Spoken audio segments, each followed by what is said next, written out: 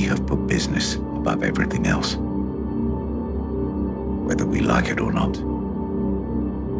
We have blood on our hands.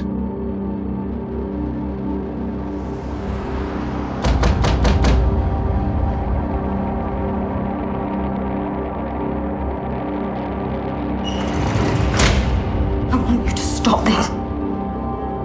When are you going to stop? You're a good kid. Just don't make the same mistakes I made.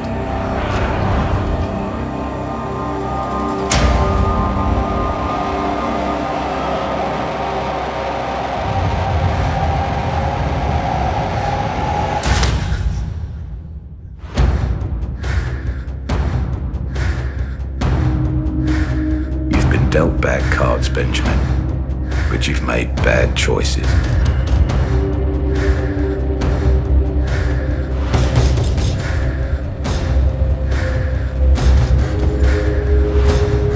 You lead an unobservant life.